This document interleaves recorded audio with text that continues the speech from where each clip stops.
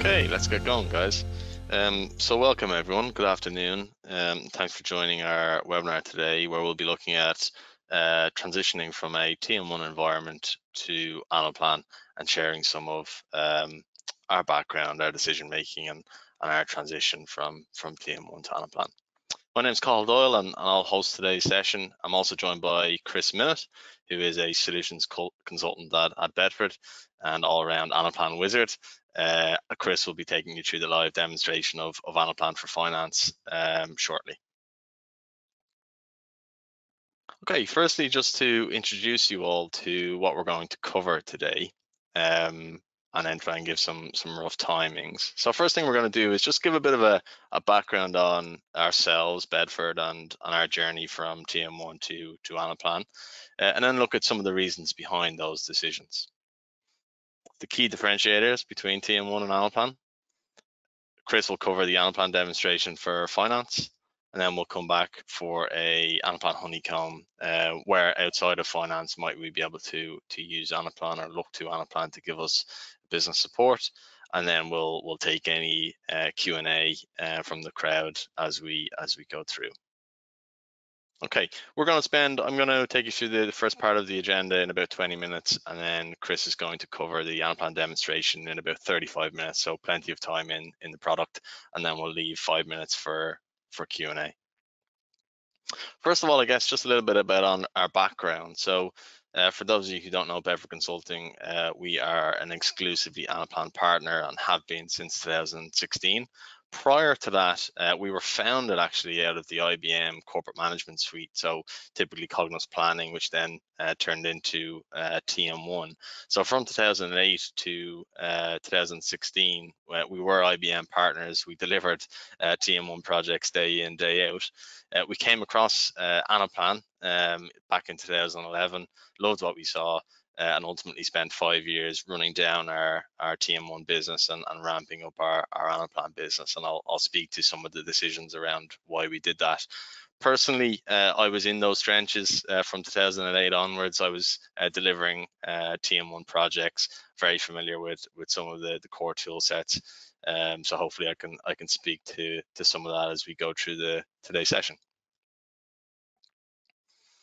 Okay, I guess first of all, who is this webinar for? What what information can you get out of it? So I guess it's really for those of you who are running on an unsupported TM1 version. Okay, 10.2.2 has been unsupported since uh, September of last year, uh, and you're probably wondering, you know, can I can how long how long how much longer can I continue on this road? Um, and, and do I need to do something about it? And if so, uh, where can I go? Um, and we we are promoting Anaplan as your your next step on on that journey. I guess one thing to to get up front, this is not a slagging match against TM1.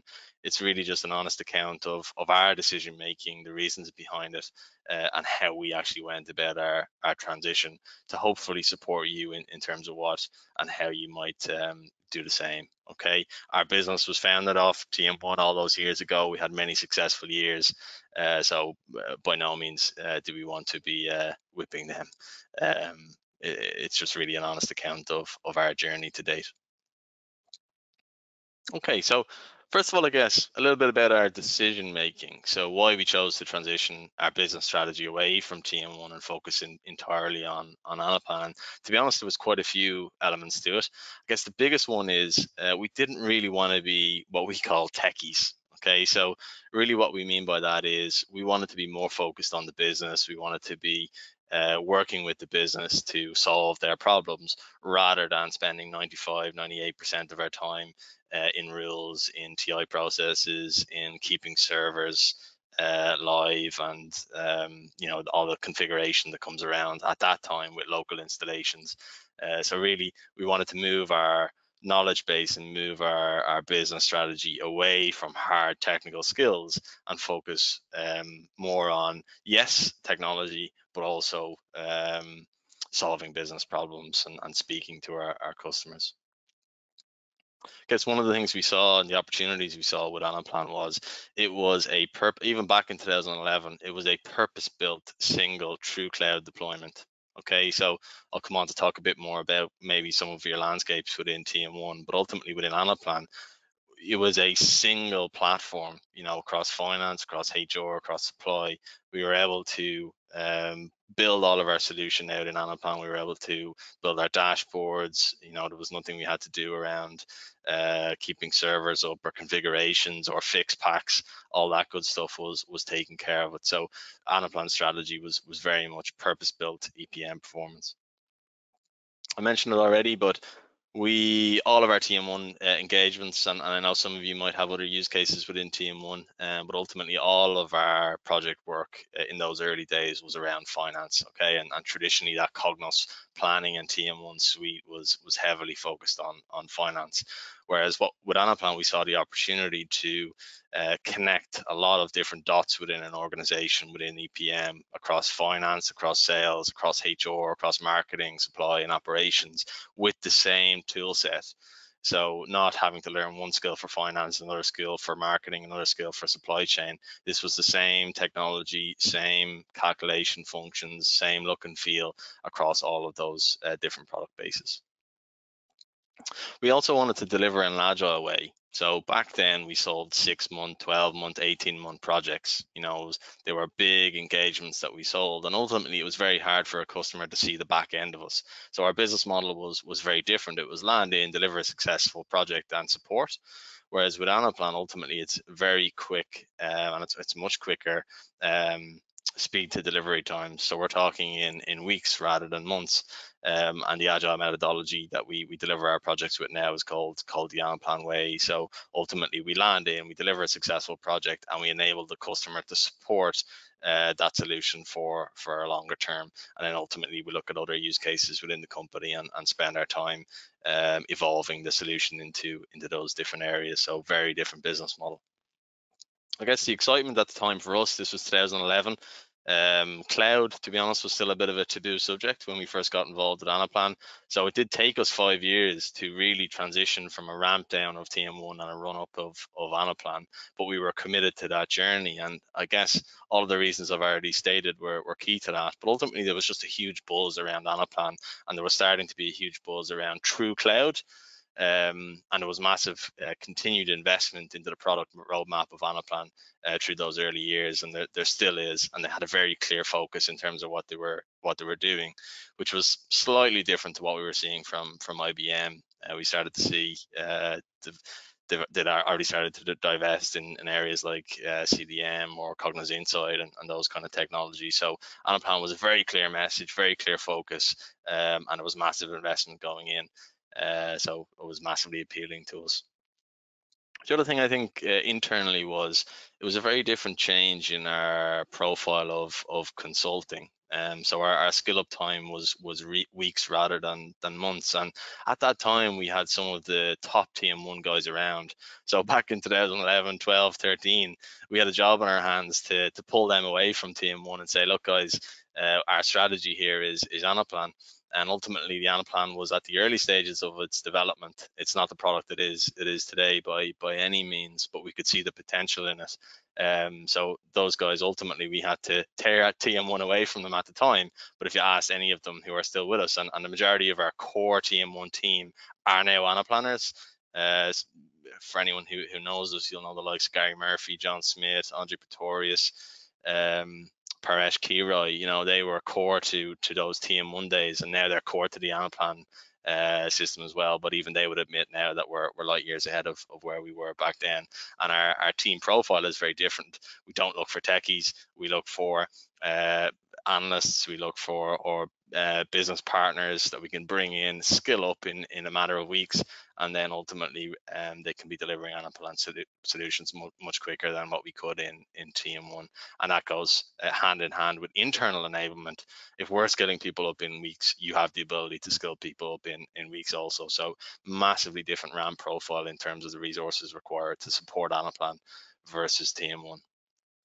Okay, and I put this in here and it kind of, you know, it, it, sounds a bit uh, soft sometimes, but really wanted to put the customer at the center of, of what we did. So we always, although we deliver very successful projects and, and we build great referenceability in, in our TM1 days, obviously, and, and that was the core of our business.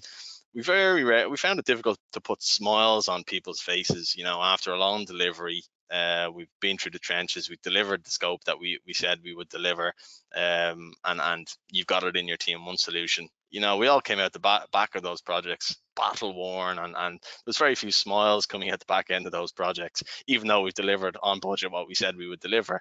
Whereas with Anaplan, I feel we can do that. You know, the the time to value is is much quicker. Uh, we can actually put smiles on people's faces, and the majority of the time, people are surprised by what can be achieved with Anaplan rather than uh, the other way around. So there are some of the key reasons. Again, I could go on and on and on, but I just wanted to kind of bring to light for you uh, what were our uh, decision making criteria when we looked at, at migrating our business away all those all those many years ago and now they are still uh, the decisions that ring true and, and we've never looked back on on that decision in terms of key differentiators so i've picked out five. Again i could i could like this is not an exhaustive list. I could sit here all day and, and talk about it but ultimately i wanted to pick out five of the core differentiators between a, a tm1 environment and, a, and an anaplan environment. So i guess the first one for me is it can truly be a business owned solution. Okay, it has a familiar business language. It's got very uh, close look and feel to a spreadsheet in terms of the calculations, the lookups, the max, the mins, the lengths, uh, the lefts, the rights, etc. You know, the the the people you're you're grabbing are ultimately um, people from spreadsheet worlds, from business worlds, from analyst worlds, rather than heavy techie, heavy IT background, uh, which what which is what we saw more so of in in TM1. So that goes hand in hand with the learning curve. So naturally, if you are uh, the process expert coming from the spreadsheet, you have the ability to transition across to Anaplan much, much, much quicker than you do to TM1. You know, if I showed a business owner who, who owns the previous FP&A processes in Excel, TM1, uh, they'd go, Jesus, I don't want to be a systems person. Whereas if I show them Anaplan, I can kind of marry the business side of it with the uh, technology side of it. So it's a much quicker uh, learning curve. Again, Anaplan was a single cloud platform. Okay, everybody is on the same upgrade path. There's no fix packs 10.2.1 point whatever it is, uh, which was ultimately the the vein of our lives. So when I talk about us not wanting to be techies, um, that was one of the main reasons. You know, you install this latest fix pack onto environment A, and it's totally different to environment B at customer B, and it it fixes the problems you you might have had, but it also maybe creates five other problems. So that was a massive bugbear in in our world. No firewalls, no log files, no dot uh, config files that that need to be looked after. So a single cloud platform uh, with all of that pain of of of hardware and, and servers looked after uh, for us by by by Anaplan. So took that away from uh, our responsibility, which was was massive and, and will be massive for for you guys and, and have a massive uh, cost saving associated to it also. Connected planning. I think I've already talked about this, but you know, uh, TM1 traditionally is a, a finance um, solution. I know some of you, and and uh, I, I, I'm trying not to hamstring it into a, a pure finance world, but because uh, I know some people will be using it for sales or, or supply or, or shaping it in different directions. But ultimately, Anaplan truly enables connected planning. So on the same platform, on the same code structure, on the same calculation logic, look and feel, user experience, you can touch finance, you can touch sales, you can touch HR, you can touch supply chain, and you can touch operations. Okay. Um, and that is something I think is unrivaled uh, out there in terms of technology is on a single platform being able to touch all of those different use cases connect all of the dots and control the the ebb and flow between each of those different points is something i believe anaplan is standalone out there on the on the market for for connected planning. Okay final one i think is a single clean and simple user experience. So i'll come on to a, a follow-up slide in a moment um, but ultimately, Anaplan is, is very clean. We build in, in in one place. We we design in one place. We push the production in one place. Um, I don't have multiple tool sets uh, for for development, for deployment, for look and feel. We have a single, clean, and simple user experience, which for me is is massive can hopefully sum that up for you here by by trying to just bring to life an indicative TM1 landscape. I'm not saying every TM1 landscape uh, looks like this, but a lot of them will. versus a, a one cloud planning platform in, in Anaplan. So if you look at the TM1 landscape, again, one of the, the technology reasons we moved away in terms of the profile of, of people we had internally was we were dealing with so many different tools. So within a, a single landscape, naturally you have to look after the TM1 server. You could be doing your building in performance model or in TM1 architect. Am I using TM1 contributor to, to generate my, my workflow? Uh, am I pushing that then to TM1 web? Am I pushing it to perspectives, to Excel, to Cafe, to Cognos Analytics? Um, so, you know, how, who did I want to consume this data? What was the best place for them to consume that data? And ultimately, I needed to be the expert in all of these different tool sets uh, which became more challenging as as IBM continued to to maybe add tool sets um, on the end of of the TM1 set. Okay, Turbo Integrator again another classic one in there. We also had to be experts in uh, running TIs, writing TIs, uh, connecting data sets from from different areas of uh, of upstream and, and, downstream sources, which for those of you who are familiar with it, is, is a rather technical uh, function. Okay, to what we have in Anaplan, again, I've mentioned it a couple of times uh, now, but a single tenanted uh, cloud-based technology, uh, which could be owned by the, the business. And then if we wanted to push stuff out of it, we could use PowerPoint add-ins, Excel add-ins, PDF add-ins, but ultimately 98% uh, of our, our work is done in that uh, cloud, which uh, Chris will, will demonstrate in a few moments. Okay, before I hand over to Chris in, in three minutes, I'm just going to um, just talk about, for those of you who are deep in the TM1 world, I thought it might be just be useful for you to start to bridge the gap between TM1 um, definitions and Anaplan definitions and because there are a lot of similarities. We've we've moved on and we've progressed a lot since since the early days of uh, of TM1 which was table manager one and, and prior to that Applix but I wanted to just try and bridge the gap for some of you some of you who are, are very technical in the in the TM1 world and, and see where your skills can be cross-referenced into into Anaplan and I guess the message to take away here is that if you are proficient in TM1 it will be very simple for you to become proficient in Anaplan and you will gain a whole new sphere of, of benefits by by doing that. I mean, my TM1 guys, in terms of our transition in the early days away from TM1, you know, ultimately day one, day two training course, day three, they were building models in Anaplan. It's it's really that it's really that easy. Okay, so first definition I'd just like to talk about is cubes. Uh, so you'll all be familiar with the multidimensional nature of, of cubes. In Anaplan, we have the exact same concept, except we call it modules. So we talk multidimensional modules, but ultimately you have the ability to pivot those modules, uh, add as many uh, different intersections or, or uh, lists dimensions to that as, as you wish, and you can chop and, and slice that in, in whatever way you, you wish. In TM1, dimensions and attributes. Okay, in Anaplan, we talk lists and properties. So pretty much the same functionality there. Properties are, are equivalent of, of attributes, currencies, uh, lookup functions, uh, unit prices, etc. Uh, very similar technology there, and the look and feel is is is one for one almost rules versus calculations. So whereas the first two are very similar to each other, I think this is the first one that, that differs quite a bit. And ultimately we're, we're writing calculations in Anaplan, whereas in TM1 you had a cube and then you had a rule box whereby you would come in and you would say, for this line item, for this uh, intersection of data, I want to apply this calculation. And ultimately I had all the good stuff around skipcheck and feeders, which I needed to, to remember, which was ultimately, once you got the hang of it, it was fine. If you were technically capable of, of understanding what was in that kind of gray box of, of rules, you were quite comfortable. But ultimately, for a business user to go in and, and see what's going on in those rule boxes is is a bit of a minefield.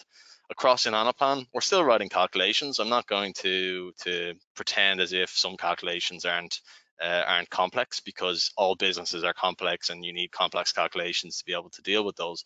But ultimately in Anaplan, you have a much different structured approach to the calculations. You can see here we apply our, our calculations to line items and then they wrap around our, our lists. And ultimately I can see in a single view in Anaplan all of the calculations for all of my modules and I can export that. So I have a massive audit trail of those calculations, which line item references which other line item, and then Chris will come on to talk about some of the model maps within Anaplan that are automatically generated as we as we go through.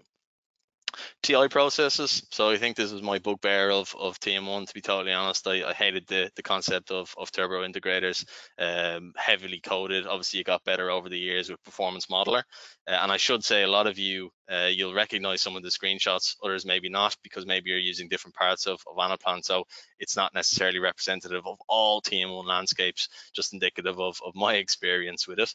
Uh, but ultimately, within Anaplan, you have a, a much more user-friendly, uh, business-focused uh, mapping structure UI for data imports, exports, and moving data uh, around the platform. Got log files, so not messing around with trying to find the log files and, and see what errors popped up or see who's uh, been into the system. With Within Anaplan, I have a history function, a full audit trail on who's made a change to what cell, uh, what was the previous value, what was the new value, and then ultimately I can restore that model to a point in time uh, at any stage very simply by, by hitting the restore button. Configuration, again, I mentioned at the top, uh, a lot of this is done for us, uh, so no messing around with the TM1 configuration.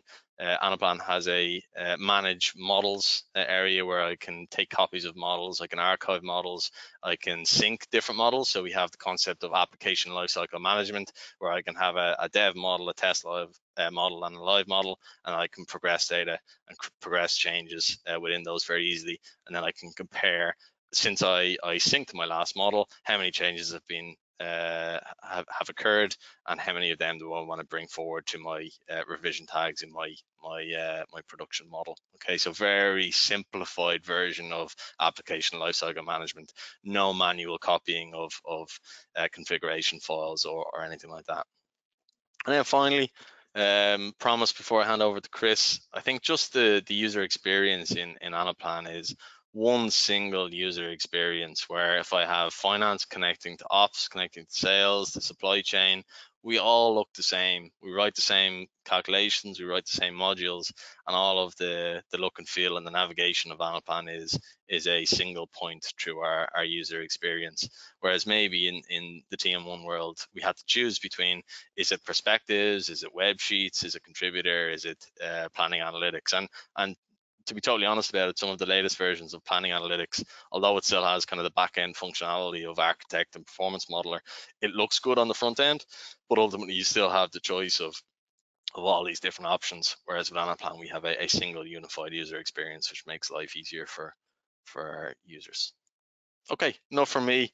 Uh, hopefully that was a, a relevant introduction to to everyone on on, on our background and, and some of the, the key differentiators, but also similarities between TM1 and Anaplan. I'll pass over to Chris now, who can hopefully bring that a bit more to life for us through uh, Anaplan for, for finance. Perfect. Thank you very much. Let me just share mine. Okay, hopefully you can see that okay. So yeah. the plan for the next 35 minutes or so, uh, we're going to start with that, that user experience that Carl mentioned, um, show you some of the concepts. Um, as he mentioned, this is a, a, demo model focused on, on finance, on FP&A. Um, so we'll use this as the, uh, the benchmark. Um, but this same application, um, I've got example models here, everything from uh, sales planning, performance, uh, incentive planning, uh, it could be supply chain, demand, it's all built on the, the same platform. Um, in terms of what we're looking at, so this is the, the user experience, this is a, a dashboard. They're completely self-service, so you as an end user can choose how you want to arrange them, what grids of data you want to put on there, components like charts, KPIs, etc. And you design them in the way that is going to be most uh, beneficial, should we say, to your users. Those users would log into the platform, uh, as Carl mentioned, completely cloud-based. So as long as they have internet, they can get to the platform. And there's an app as well if they want to use their, their mobile phone or, or iPad, etc., to access the application. And then crucially, the whole thing will be filtered down for security. First, you can choose which dashboards people have access to. If I flip into the, the contents of this model, you can see it has everything from kind of tops down planning, bottoms up planning, reviews, monthly analytics you might want to do on currency or, or variances. You haven't got to make every dashboard available to, to every user. You can choose who has access to what, even have them be sent emails with a link that will take them straight into the, the dashboard when you want them to. And then within the dashboards, they're filtered down based on security attached to the lists. So the list that you see here, similar to the, the hierarchy function in TM1, here we have countries rolling up into to continents. Firstly, for me, where I have full access, I can obviously use this list and say, show me the entire dashboard. But for Europe, for example, if you look closely, you'll see all the different components updated. If I flip it to, to North America, same idea, this one dashboard being sliced across the hierarchies, but equally it means you can actually set security against them as well. So if someone's just in charge of the, the UK, they would open up this dashboard and it would default to the, the UK country here. Someone else would open up the exact same dashboard at the same time, but their security may limit them. So they just see France, for example. Security does go further down, down to individual cells if you want to set it that low, but hierarchies or these lists being the main way that you would set it. Just a, a few concepts on the, the dashboards before I go through a, a few examples. So the first one being the obviously the sliceable across these lists. Here we have the countries, we have different time frames, and importantly, different scenarios or versions. So if I want to see it just for the actuals, for example, or a forecast or as many budgets and scenarios I want to create, I can slice through, again with security permitting. But each of these components is pulling from that underlying model or set of modules, as Carl mentioned. So we break Anaplan down into smaller components. This grid here, for example, revenue planning, doesn't uh, isn't just limited by the, the list that we have at the top here. This one actually goes further down into an individual city and to an individual product, for example. So you can choose which lists apply to the data wherever you are in the system. When we get forward and we look at things like uh, personnel planning, so planning out costs, that will go down to individual employees. You might have fixed asset planning goes right down to individual assets. And you can choose the level that not only you report on, but also that you enter data in as well. Um, core concepts here, if I just actually use this as a, a, data entry dashboard, so not only being used for, for reporting analysis, but actually for people to key in their, their data. And if I change January, for example, you'll see that synced through firstly this dashboard, so down to this grid and net income, you can see how it's changed my chart here. That change is actually rippled through the entire model. So everything is linked, everything is synced. I could be an individual cost center manager changing a number of units um, that relate to me and then immediately that can flow through to summary P&Ls, balance sheets, cash flows, any KPIs that we might have, such as down in the bottom right here. The changes that you make sync through instantly. Um, that's obviously subject to workflow, which I can touch on. So if you want to have approval steps, you can do. But really this idea, if you change a number, it flows all the way through the system, allows you to do some really powerful things, things like scenario planning. You know, what if this event happens? I can create a new scenario, change a number, and see the impact instantly which we'll see at the end. Um, incidentally, the, the audit that Carl mentioned as well, if I look at the, the history of this cell, I can see exactly who changed it, when they changed it, and what they changed it to as well. So down to a cell by cell level, having that full history of what values have changed to.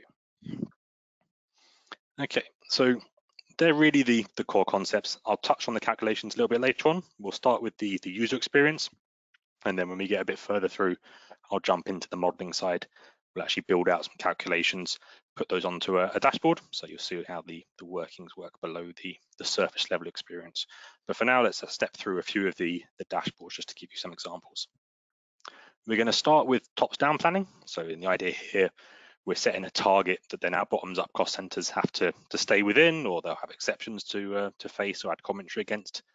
Uh, Anaplan's great at allowing you to enter data at a very high level and then choose how you want to allocate that down your lists. So starting off here, for example, we're setting a high level revenue target.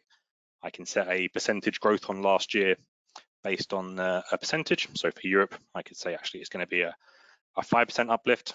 That's automatically flowed down to the countries within Europe. So here we have the UK, France, Germany sitting within Europe, the 5% coming through incidentally, in terms of the, the actuals, the source data, Anaplan's completely agnostic of source system. So be it different GL systems, ERP systems, if you have many, we can import from, from all of them and map them. But likewise, when you think about things like a CRM system, HR system, um, we can pull in that data either via a, a CSV file or directly into those systems if needed as well. So you can have automatic refresh. Once you have those actuals, we're using those to apply our percentage growth to. That gives us our, our starting point. So by country, we've now got our high level revenue target, but then allowing the user just by exception to make some edits and changes to it. So here, for example, if I want to override the, the allocated France number and say, what if that was 100,000? Then you'll see we get that uh, uplift on France, um, and then it's reallocated across the other countries here.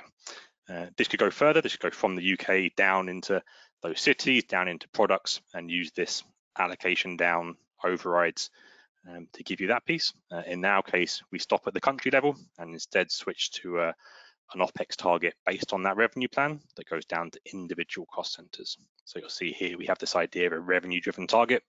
This is coming from that previous dashboard where we set a revenue target and then allocating across our OPEX categories based on, on that history again. So a lot of what you'll see as we move through the, the demonstration is Anaplan taking those, those actuals, taking that historical data that you already have and using that to give you a, a starting point. So then all the end users have to do is just amend it by exception using the, the dashboards that we're moving through. Uh, in this case, for example, if I choose my, my G&A category, I've got my prior year, I've got my revenue driven target for the, the new year, and here, rather than automatically allocating it based on, on last year, for example, I've given myself a, a, choice of different allocation methods. So here, if I want to base on prior year, I can do, and we can see our spread down to individual cost centers based on prior year spend. If I choose to base it on FTE, for example, I can do on a custom profile. But again, these are just examples. If you want to base it on effectively any data you have in the system, be it uh, custom metrics that you have, things like revenue or cost profiles, um, you can build those into the system and choose that as the, the method for allocation. This also works incidentally if you want to do allocations of, of costs like IT costs or central costs and allocate them across the business to understand things like true profitability. You can use this idea of an allocation method, spread it down into the detail, and obviously again, still have the ability to override uh, where you need to, in this case, down at the cost center level. Okay, so that's top-down planning from a kind of assumption-based with overrides. Um, you'll see later on the idea of just entering a, you know, a top figure sales number and seeing how that can automatically spread back through the business as well. Uh, in this particular model, this high-level OPEX target is what we're then making available to the individual cost center owners when they start to do their, their bottoms-up plan. So you'll see now my list goes down below the UK into London and then down to individual cost centers that sit within that office we can see our target. So this has come through from that tops down planning that we just did. And here we're now allowing those end users to build up a detailed OPEX plan from the bottom up. So this could be Excel style templates if they just want a grid to key into, could be driver based, could be attribute based planning, any logic that you can that you can think of or that you may have done in TM1, you can obviously bring that logic through into to Anaplan and then present it through the, the user experience that we're going to see. Uh, if I start with a simple one, so I'll start with R&D, just a basic level. So this is the idea, just giving someone a, a, grid of data. So an individual cost center, again, if you picture security is filtering down the, the list here. So if I'm in charge of the finance department, I would just see finance. And I can go in, I can change any cells that I want to. That audit log is still tracking every change that I make. Or here, if I want to, I can choose to enter in at the, the full year level. So total year for research, if I change that to 60,000, this is going to automatically reallocate back through the periods based on that existing data. So rather than on the previous screen where we saw the idea of choosing an allocation method and basing it on FTE or history, the breakback function will automatically base it on the data that exists. Uh, incidentally, not only can I do that at the, the total year level, if I wanted to do the total R&D costs across that full year and change my total here, I can make that change as well. And we'll see later on how these changes that I'm making are not only updating the finance department, they're not only updating total company for R&D that we see here, but they're also flowing these R&D costs through into the P&L, other statements, and updating any kind of KPIs or covenants that might be attached to those. Uh, incidentally, on the workflow front, you'll see here we have the idea of submission with comments. This is specific not only to task, so I can submit my R&D budget when I'm finished, when I may not have finished my uh, my personnel budget, for example, and obviously against each cost center. So you can then start to track where different cost centers are in the in the process. Have they started work? Have they submitted it? Has it been approved yet? And you have that full tracking of data as well. Making things a little bit more uh, logic based. If we look to something like the G&A costs instead, this is taking again that idea of last year's data and applying an adjustment to it, but this time we're then allocating that back into periods based on a selection. So rather than by default allocating that back through based on something like prior year, so any seasonality that we had last year is retained. Here I could choose my profile, choose flat, for example, in which case my initial initial budget here is even across the 12 months. I could choose to spread it based on something like 445, it could be FTE. And importantly, where you have this idea of connected planning that Carl mentioned, means that if you have a personnel planning module, if someone's planning personnel additions and they're saying we're going to add two new FTEs in August, that will automatically sync through to these allocations that you want to make as well. In my case, I'm going to base it on prior year. And then again, you can see we have our initial starting point, but with the ability to adjust. So if I want to make a change here in March and say it's going to be 15,000 in March, really simple data entry for the end users to do. As I mentioned before, if they're just on their, their phone or iPad, they can access exactly the same concept. It will map correctly for whatever screen they're on. It makes it really easy to, to enter their data. And importantly, not only the, the numbers, but any commentary attached as well. So you'll see just on this one dashboard, we've got three different levels of commentary. I can enter an explanation here against the row as to why I'm doing a, an increase on, on last year, for example, for utilities. So I can say it's due to XYZ. Um, you'll see here instantly that's cleaned up my exceptions. I've now explained why I'm having an increase on, on last year. We can do a, a comment on a, an individual cell and then a comment against the overall dashboard as we submit it as part of the workflow as well. And just like the numbers, if I slice through to a different cost center here, all of that text stays with it. So obviously each user not only entering in their, their values, but being able to enter in their, their commentary to go alongside as well. And that will stay with the data. So if you're reviewing your budget in six months time, maybe, maybe got some variances that have come in, you can still see that commentary attached to the cells, see the explanation for, for any changes that were made also means you can start to track the idea of you know that automated budget that was created from last year's data could even be something like statistical forecasting and then the additions you'll see these two sets of data are held separately so you can start to look actually what value add did those budget holders make by going in and editing that data or are there other parts of the business that are worth spending more time on um, versus something like G&A that may be more static as you move through time Okay, so I won't go through many more. I'm just going to jump into the the personnel one because this is the one we're going to do a bit of build from scratch on. So you get to see the, the calculations behind the, the dashboards here. This is one that's been, been finished, the idea being that we load in employees and their attributes, so obviously their salary, pension scheme, health plan, those kind of details.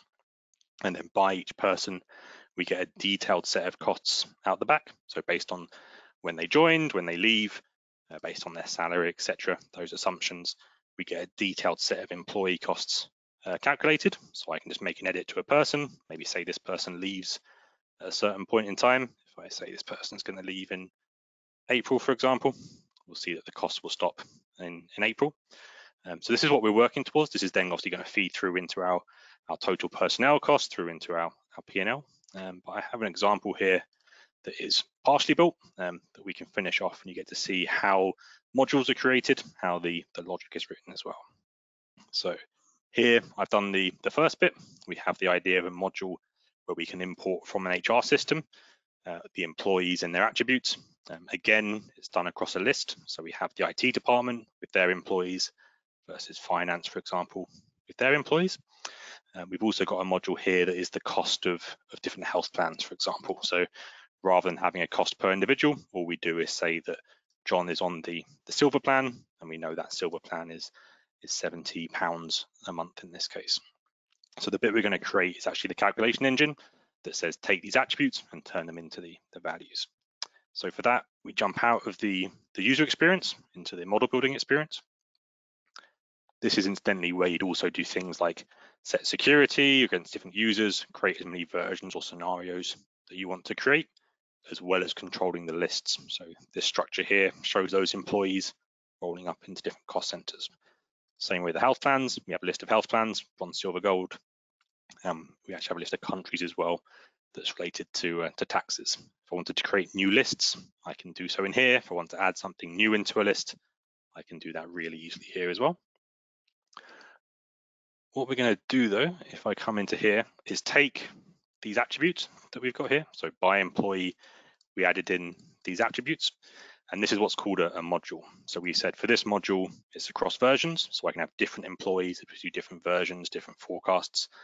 And we've got our employee list and then our line items, effectively the measures that go across our columns. We have another module here, which is our health plan. So this is just by the health plan, the bronze, silver, gold, and the line items just being the, the monthly cost. and we've got our tax assumptions where by country, we're just doing a really simple percentage that's going to be our, our tax rate. This one, for example, being by country.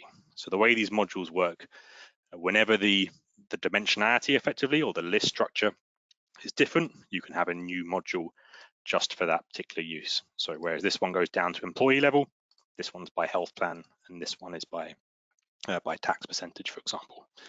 So to build the calculations, we're going to go into our, our modules that we have.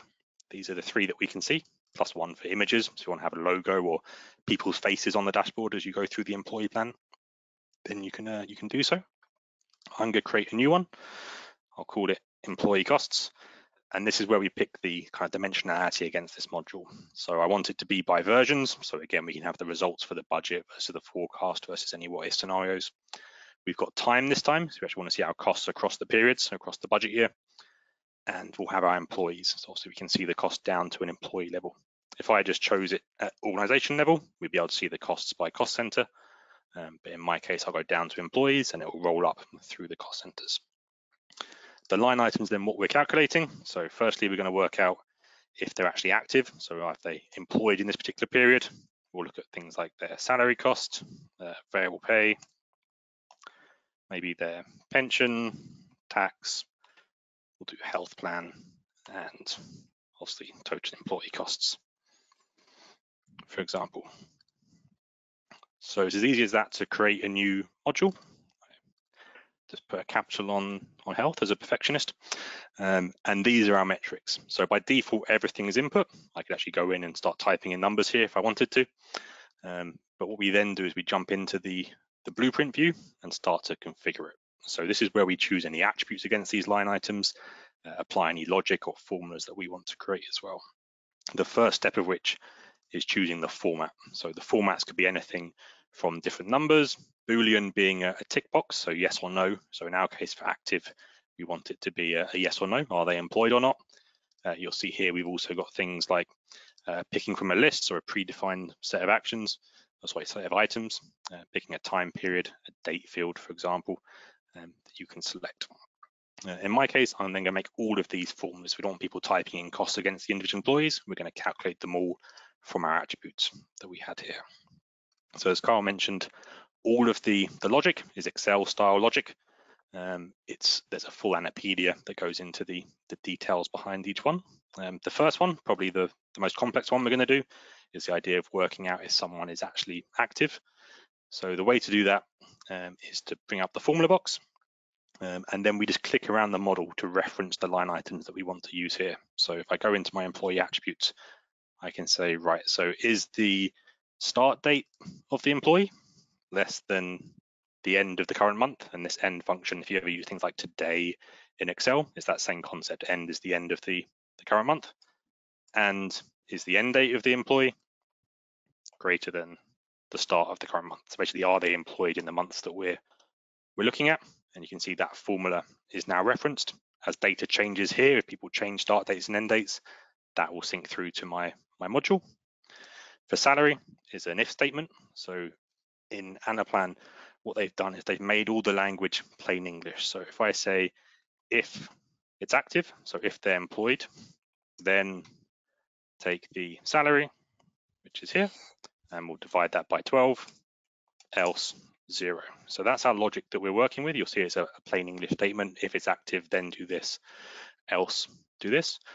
What Anaplan's actually done though is they've made conversions. So where that slightly different syntax to Excel, if you want to, you can actually use the Excel syntax even with the equal sign and say if, well, let me just pop it back up here. So if I say if uh, open brackets active, then take the variable pay in this case, divided by 12, comma zero for the else zero. So you'll notice the exact same syntax that you use in Excel.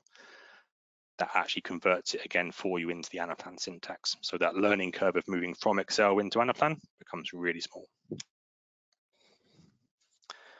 Uh, pension, just quickly, I'll do salary times by that particular employee's pension percentage. And then tax, for example, we're going to take the salary plus the variable pay and times those by our tax percentage, but you'll see here the tax is attached to a country. So this is where our lookup comes in. So just like a VLOOKUP or an HLOOKUP that you might do in Excel, we can do a lookup again on an attribute. So a lookup against the country of the employee, and we build up our costs. And then health plan, same idea finally.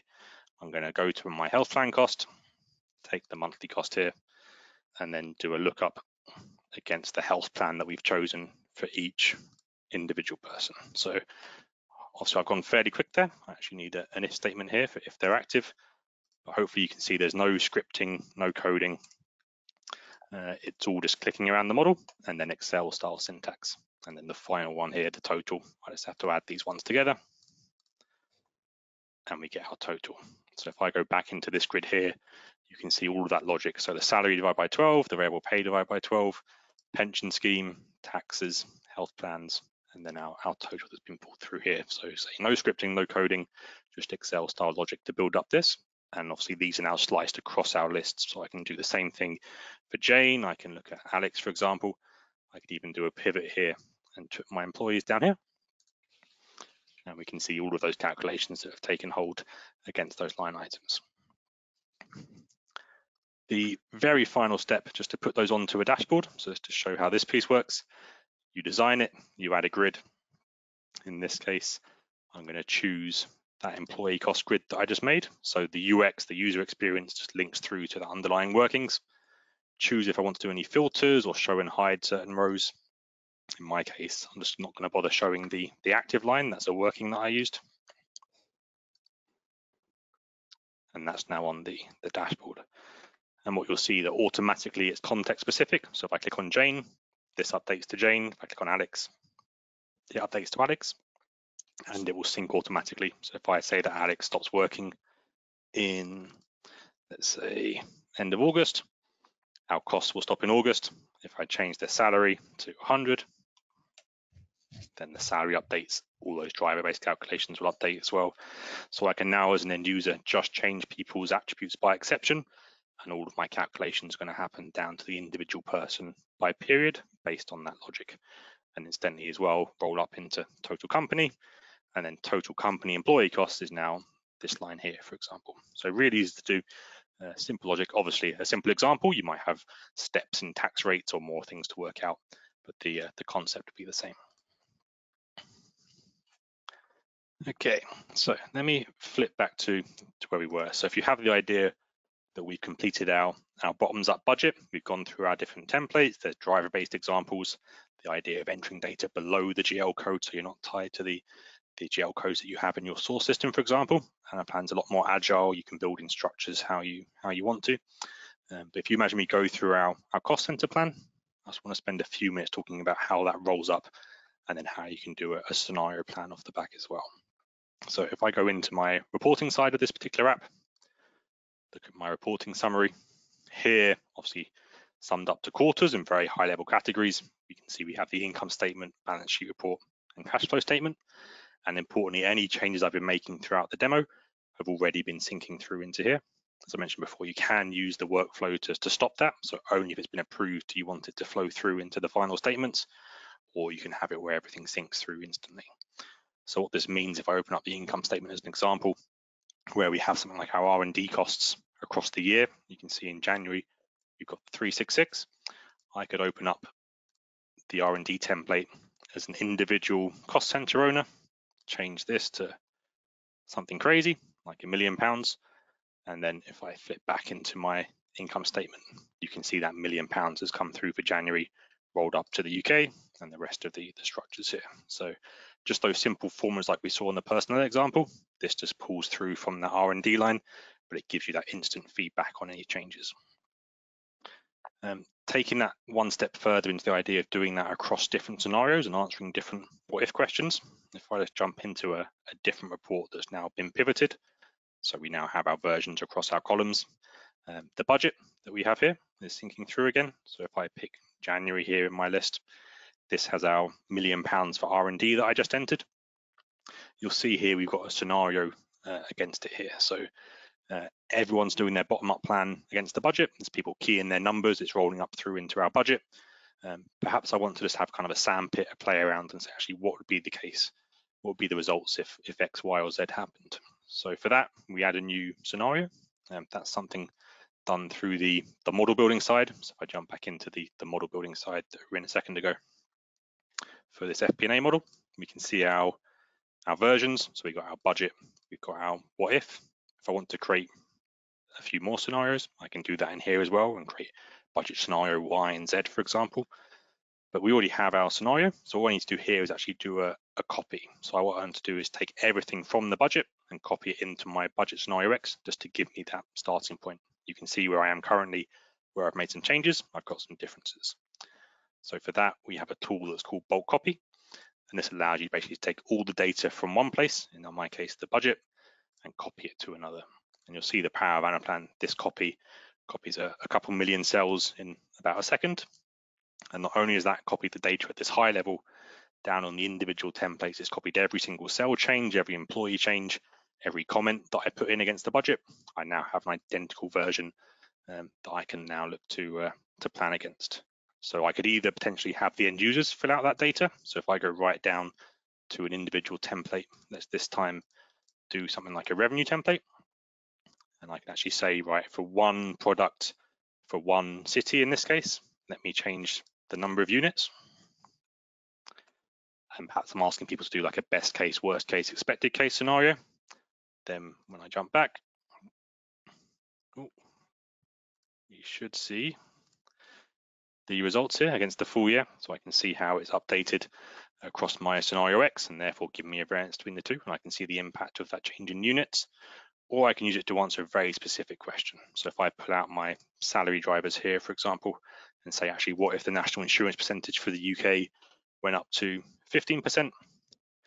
We can immediately see the impact that would have. So we'd end up spending about £34,000 more on salaries and benefits due to that change. So say either a broad best case, worst case, expected case type budget that you roll out from the bottom up, or to answer very specific questions. You can see how quick it is to uh, to create those scenarios, have a variance between them, and then see that impact as well. Um, just finally to finish off in terms of using these dashboards for more of a kind of reporting analytics side. So obviously all the dashboards we've seen so far, they double up as both data entry and for reporting purposes. Other examples in here include analysis on things like month-to-month -month variances.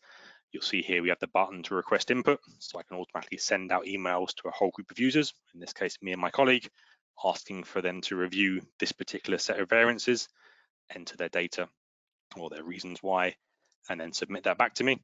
Um, that can all be done through here as well as things like drill downs down into individual transactions. So these dashboards, these uh, these screens in the user experience can be used across the entire process, as well as obviously being able to take the data, feed it into other systems. If you want to feed it back into the ERP system, for example, as, as uh, thresholds, or we have add-ins into the, the Office suite as well.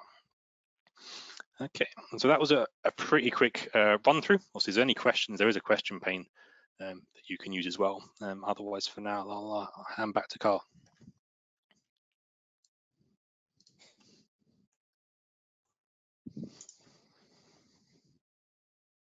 Great, thanks, Chris. So, a couple of final thoughts from from my side, guys, and then I've got a couple of questions from the chat pane that I'll um, they'll try and cover. I won't get to them all, but um, I'll try and tackle some of the common themes, and then we'll follow up on, on any outstanding items. And then, Chris, if there's any burning ones on, on your side, feel free to call them out, and I'll try and tackle them. I guess uh, Chris, thanks for that demonstration. Um, obviously, we have only got limited time to show you the, the depth and breadth of Anaplan for, for finance, but hopefully that's given you a, a good picture of, of the art of the possible and, and, how you might transition your your skills and TM1 across to to Anaplan. Obviously, that was very focused around finance, uh, and we wanted to do that because a lot of um, the TM1 use cases we see are within finance, but do remember that one of the enablers within Anaplan is that we're not just limited to finance. A lot of our first lands do typically be in finance for budgeting, forecasting, traditional FP&A, uh, but we very quickly have the ability to scale across the organization into sales, into supply chain, into human resources. So if we had all day with Chris, Chris could pull out similar demonstrations across what we call our, our core 18 honeycomb.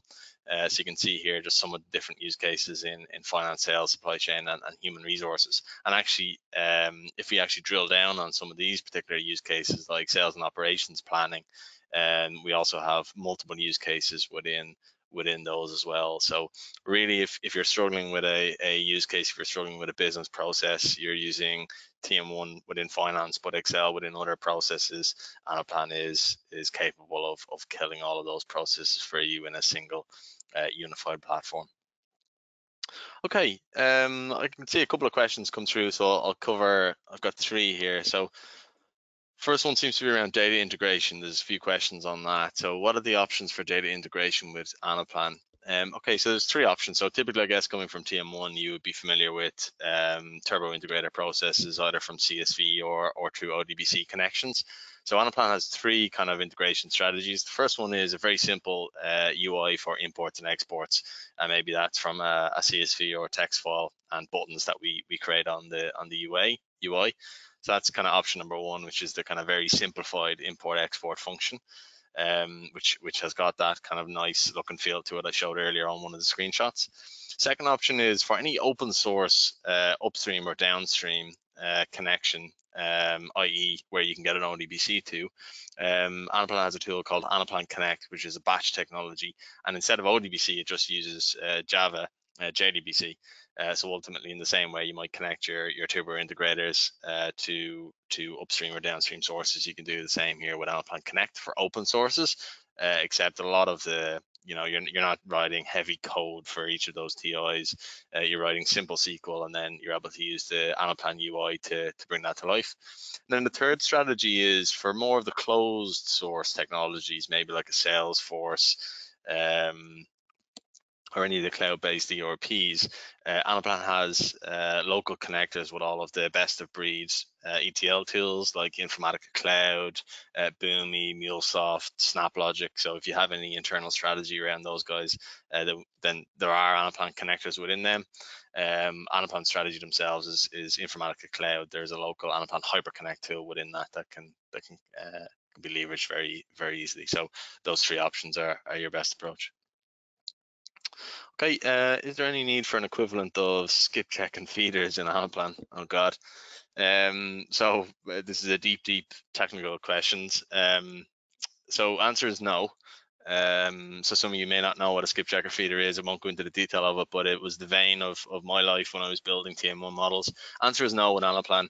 Um, it's already done for you. So when you write a calculation like the calculations that uh, Chris wrote earlier for the employee costs, Anaplan only recalculates downstream affected cells by default. So the technology is set up to to, to ultimately work in the same way as as you would have wished with skipcheck and feeders, uh, but you don't need to do anything about it. It's it's uh, the hyperblock technology is is efficient enough to to do that for you. Follow up to that question was how does Anaplan recalculate and are all cubes connected? Uh, how does Anaplan recalculate? So um, very different to to TM1. So a lot of you will be familiar maybe with the recalculate button within some of the old web sheets or, or perspectives or, or even in TM1 Architect, whereby if a number changed in my in my employee assumptions, I had to recalculate my employee costs and had to physically press a button to, to recalculate it. Uh, Anaplan is live, so you saw through um, Chris's demonstration, if I make a change to my R&D costs, I can immediately see the impact it has downstream in my P&L or in my in my cash flow. So you know there is no real uh, recalculate function within Anaplan. It's it's all linked live. Now he did make the good point around workflow and process and, and notifications. So uh, you may not want a change in your R&D to immediately impact the P&L. So therefore, you might create a workflow or notification process uh, to disconnect those those processes and only feed through to the uh, P&L when you've actually got approval, uh, maybe by a cost center owner or regional head or, or, whatever it might be. So it's very possible to um, to, to set up those processes so that not everything is is um, linking live. So with great power uh, comes great responsibility. Okay, Chris, any other common themes we, on the question side? Or? It's got one new one just came in around uh, workforce planning. So, uh, firstly, is workforce planning data accessible from any HR slash payroll system? Um, so the short answer is is yes. Basically, we're agnostic in terms of source data. Uh, which of those three methods that Carl just laid out uh, you'd pick would also come down to how frequently you want that data refreshed. If it's you know once a month for a budget, then CSV is normally the, the simplest way. If you want it you know, daily, weekly refreshers, then maybe we do the, the direct link, but we can actually get to to any of them? Um, and then how do you limit the viewing on confidential info such as salaries? Um, so there's basically security. So by user, you set what security they have over the, the lists. So do you actually want them to go down to individual employees or perhaps someone can see it at the, the cost center level or can they not see those GL codes at all? Um, you can set it at the list level and then go down even further to individual cells. So if you wanted to have someone that can, I don't know, set the company car details against an employee, but not see their salary, um, you can do that kind of logic as well.